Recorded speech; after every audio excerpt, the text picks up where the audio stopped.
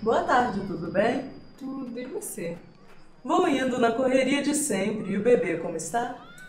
Tá bem. Deve nascer daqui a duas semanas. Mas e a Kiki? O que, que ela andou aprontando?